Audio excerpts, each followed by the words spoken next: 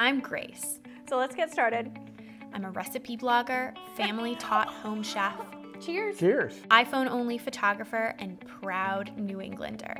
Crispy pork belly is not just a thing at restaurants. Make it easily at home. I'm sure if you're watching this video, you've had those crispy, crackling pork belly skins before and are yearning for it at home. So today we're going to make crispy pork belly. Here it is. You're just gonna throw it in the oven and that's it. Kidding, I wish. The first step, making a rub for the pork belly. You can do whatever you want, but the two things that you need to include in your pork belly rub is salt, a generous amount, and pepper. Freshly cracked is always best. And this is what I like to do. I like to do a little bit of onion powder, some garlic powder, and this is the key, Chinese five spice blend, which you can get right in the grocery store. And this blend is cinnamon, fennel, cloves, star anise, and white pepper. And it just has this beautiful, beautiful taste to it and aroma. It's really good with pork belly and very classic too. And some light brown sugar.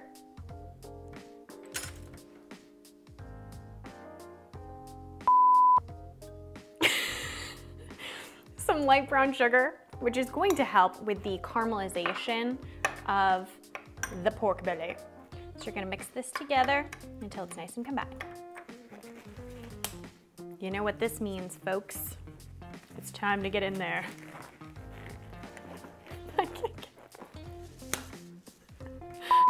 Next step is you're going to take your piece of pork belly, skin side down, so you'll see that's the skin, put it skin side down on a baking sheet, and we're gonna be working on the meat side here.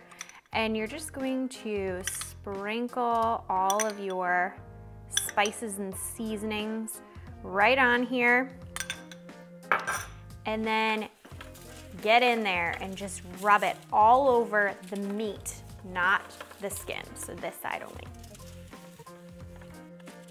So then what you're going to do is flip. It's sticking. Okay. Then what you need to do is flip your pork belly to the other side, the skin side.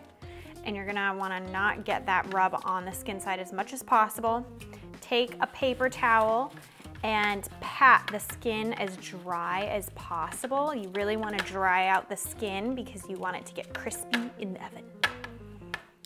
After you've patted dry, you wanna kind of aggressively cut the skin in rows, just like this.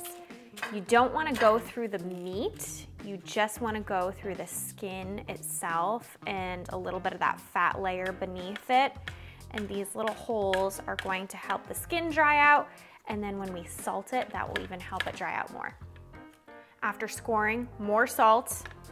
We need to dry out that skin and also salt is flavor. So we're gonna add all that salt onto your skin and rub it all over the skin in those little scored holes.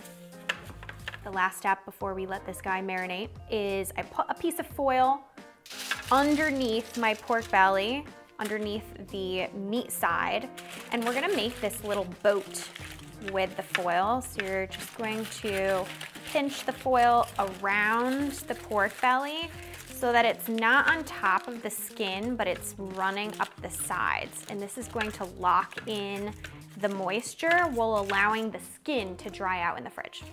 After we're done making the boat, you wanna stick your pork belly in the fridge for two hours uncovered. Just let it be, let it do its thing. It's out of the fridge. And the final step before we're going to throw it in the oven is I have a little bit of vegetable oil here. You can use canola if you prefer, and a splash of apple cider vinegar. The vinegar is going to help tenderize the skin and help it crisp up and dry out. And really same with the oil. The oil is gonna help the skin crisp up. So it looks like a lot, but you're just gonna kind of slather on this mixture just to the skin. Use it all until the skin is completely coated. It's time for the oven. 375 degrees for about an hour, and then we're going to broil it so the skin gets nice and crispy.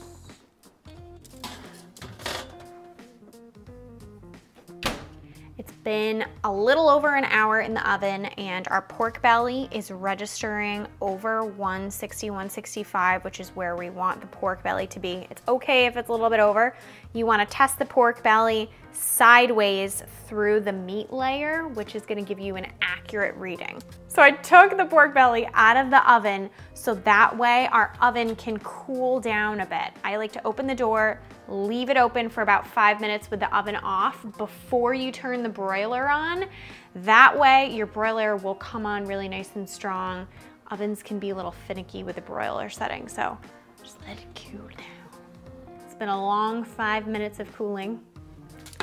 Pork belly goes back in the oven and we're going to broil this guy for about five to 10 minutes until the skin on the top gets nice and crackling and crispy. It starts to pop and just, oh, gets crispy.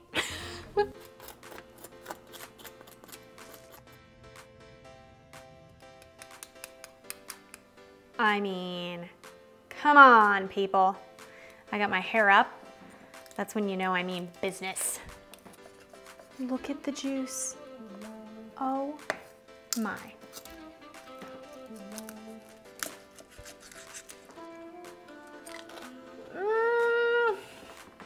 It's so juicy. My mouth is overflowing. But the top is so crispy. Mm. Check it out on tastefullygrace.com. You won't regret it. Pork belly, get in my belly.